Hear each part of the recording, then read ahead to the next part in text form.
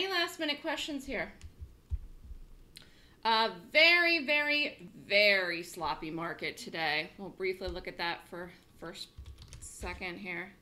Let me turn my phone off. Um, very sloppy market. So technically speaking, we're gapping up. This isn't a gap I go long. It, it's I basically qualify this as neutral, but technically we are up today slightly. very interesting because every week for the last, I guess it was been four weeks.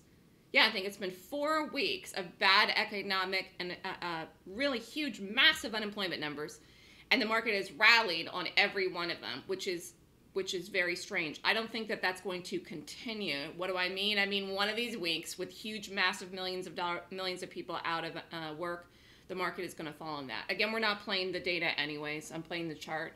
But as far as this goes here, look for a really sloppy, sloppy setup here today in this market. So don't look for any traction to the upside or the downside in the market today, either direction. Very sloppy. And I would be surprised if we fall, but it's not going to happen this morning. So we're not going to do anything with this. And this has nothing to do with anything. So. Um, thanks, Kathy. Hope you're doing good. Hope everyone's doing good. I was able to get a food order in. Yay! And I wore a mask for the first time because now they're just giving out like free packs of masks. So I got a second pack. So I'm like, okay, well, I guess I could wear one and I had it on upside down. I had it on reverse. I'm like, I don't know how to put this on. Which way goes in the front? Which way goes in the back? Because I can't read Chinese because the the master from China. And I'm like, I can't read Chinese, so I couldn't read the instructions. I only encountered one person, which was the doorman, and he had no mask on or gloves. I'm like, okay. Saw the snow you had in upper state New York. Wow, that's that's insane. Actually, I have the air conditioning on here today, so it must be must be fairly warm out. We definitely have had some crazy weather.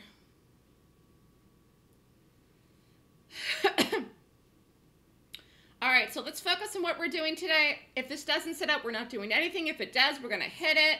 Target is 37 and it's very spready right now, so hopefully that'll tighten up. And dream target on this would be 35. I think it needs a market for that.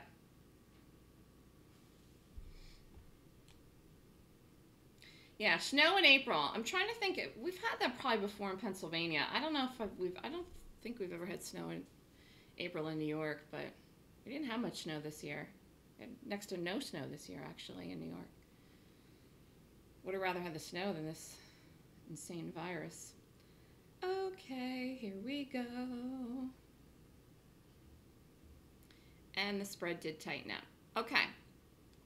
So let's, let's wait a minute. Let's just wait one second. And we're probably to fall today. I mean, this is so sloppy. Slop, slop, slop, slop, slop, and a chop. But I'm not to have to do anything with that. All right, let me see here. Okay, nothing, nothing yet. Let's look at this.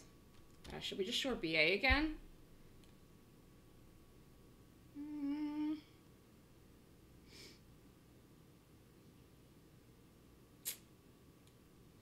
No, I, I don't want to do this as a day trade, but this is lower. It's just, it's just, it's just lower. Um, Jackie's like, yes, do it, do it. All right, I'm watching MS, and we'll see if this does anything that makes any sense. In fact, I'm going to figure out what I'm going to do with this right now.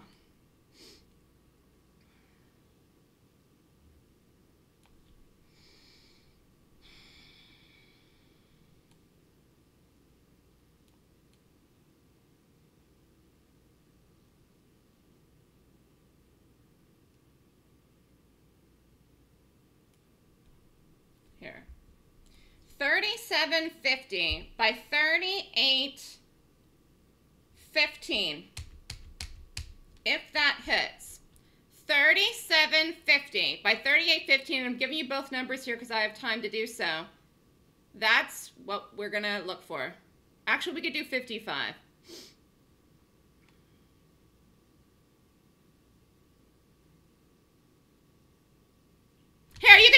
Do it right And get the stop in. And this is this is actually here. All right, good timing. In fact, let me just double check that.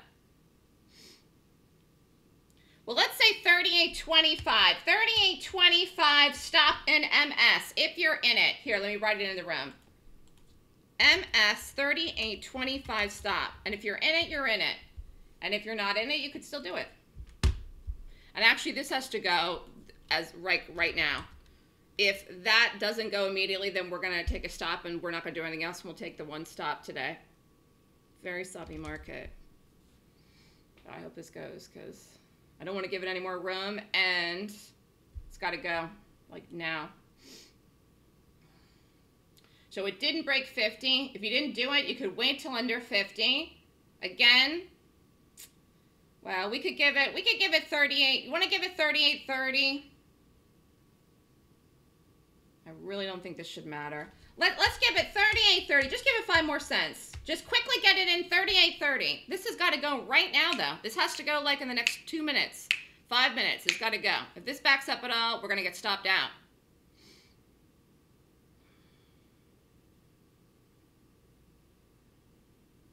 Let's look at BA. Very sloppy. Fell yesterday. In fact, we'll talk about this because some of you emailed me about this, uh, that BA yesterday. It had a beautiful, beautiful move. And I, and you have, and I said before I exited the room, don't be piggers. Um, so as far as things go, especially particularly the options trades, I'm calling so many you could exit the trades and then you take the new trades. Do you know what I'm saying? Exit the trades the week that they're expiring, then take the new ones. I'm calling so many. You can't forget to book profits in this market. Please don't forget that. It's a very, very important part. I know some of you are like, I don't want to miss it if it goes to 120 today. Why? You're not going to. Because you're because I'm calling 50 other trades, so you won't miss it. Here, I think this is going to go, but it's not going easily. Goldman was ridiculous yesterday, and again, we're waiting for that to fall again too. Well, this is starting to sell off here a little bit today. I'm glad we did not day trade that. We would have been stopped out. Okay, here we are. So MS, just got to get some traction under it. Again, I kind of jumped the gun a little bit. I originally said 50, then I said 55. Maybe we should have waited to 50, but it's too late now. If you're in it, you're in it. If you're not in it, wait till 50.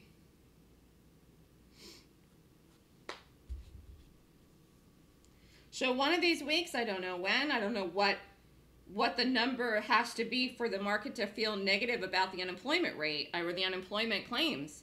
Um, 5 million, 6 million, 10 million, 7 million, I don't know. But, you know, it's it makes absolutely no sense and that's why it's we just don't trade fundamentals because again you have something that has good earnings and then it falls you have something that has bad earnings and then it then it then it rallies. Uh, like we had the initial rally in in uh, one of the banks this week so you you just can't go by that. Am i surprised that we're rallying on these horrible numbers? Yes yes i am but again i'm i'm looking at the overall chart when i'm saying that the market is still lower. Excuse me but one of these times, the market is not going to rally when the number is big. I don't know when that is. Could be May. Could be June. Who knows? Nobody knows how long this is going to go on. What about the market?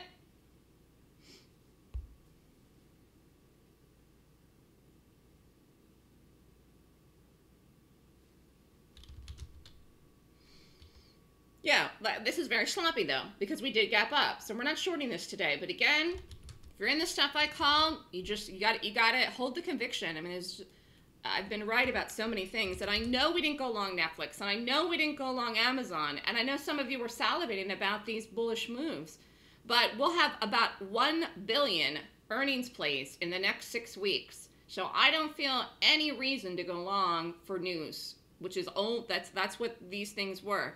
News was Netflix and Amazon, and even the Tesla and that other one that Zen Trader put in uh, that's the laboratory. These are just news stuff. That's not normally what we do. I'm not saying I never do a news gap, but in today's world, it's got to be like the most amazing thing I ever saw for me to want to do it. And hindsight's 2020 because I'm telling you, I wouldn't have played that those bullish gaps. And then by the time they went, they were really breakout plays and they went.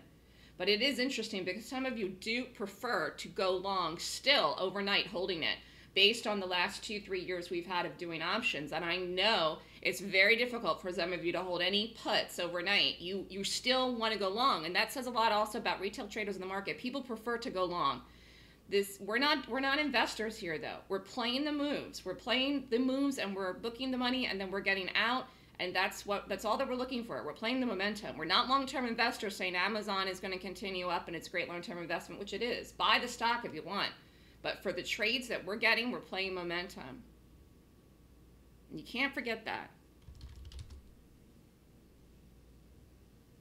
this is going nowhere either all right let's look at some of these other things Wow, did anyone stay in, in the in the puts in JPM?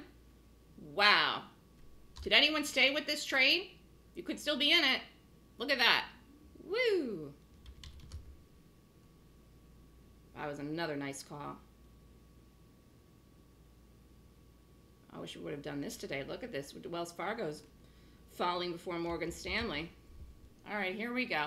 If you didn't do it, do it under 50. MS, kind of wish we had done Wells Fargo because if we had, we would have been done, done already and done, done, done. And I do think today should be a quick day, a fast day, as far as the day trades, and tomorrow probably too. In fact, let me look and see what's out for tonight and tomorrow. It's been a good week. Yesterday was a good day. Here we go. Here's MS. Nice call. Um, what is today? The 15th, the 6th, the 16th.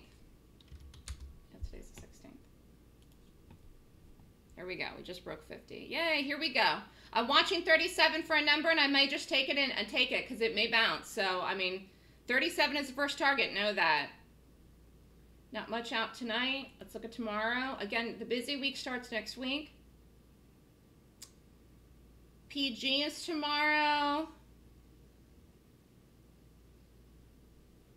I don't know what we're going to do tomorrow. Not in love with any of these things.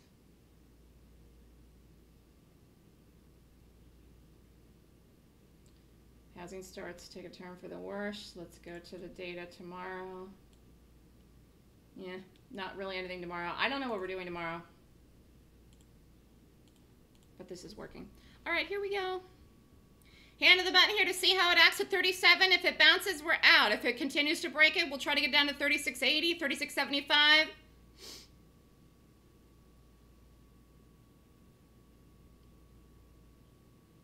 Another nice call. Um, sometimes when things get challenging, again, you, you, you know, people under pressure can rise to the top, and I've wanted to make sure that I'm reading everything and double, double, triple checking myself with every trade we're doing, every time I look at the market, every time, everything.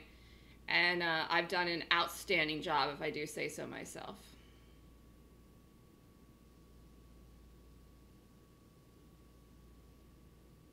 Let's see if we can get one more push down in here into 945. Jackie says, yes, you have. Thank you.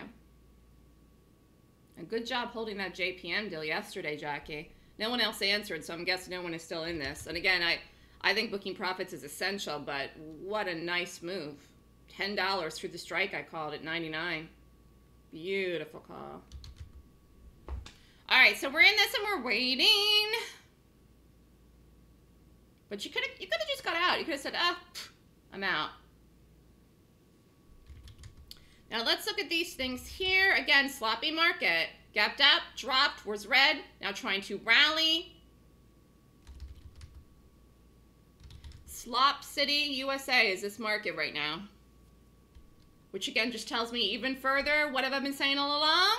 We're lower. You want to do BA again? Hmm. I don't think it's sitting up right as a day trade, but I'll go look at it. Gosh, it's taking forever here. What is this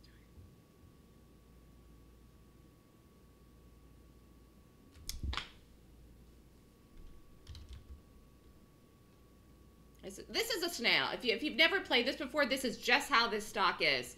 It wiggles and jiggles. It's a snail, snail, snail. And I kind of wish we had done this because it wasn't as snaily. I guess we still could do this, actually. Because we could.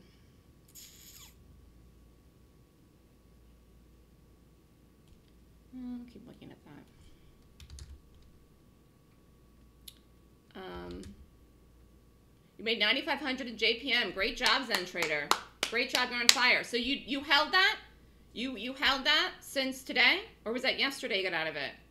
It's fabulous.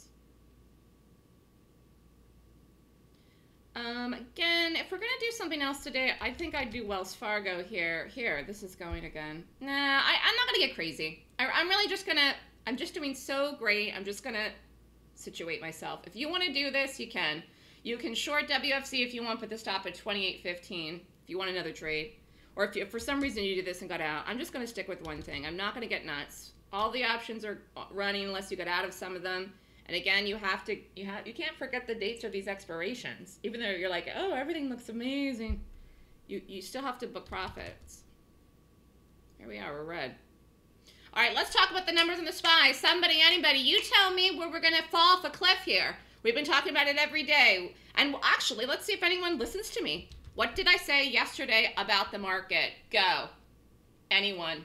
I'm going to look around and see if anything else is up here. What did I say yesterday about the market? When we were down in the morning, what did I say?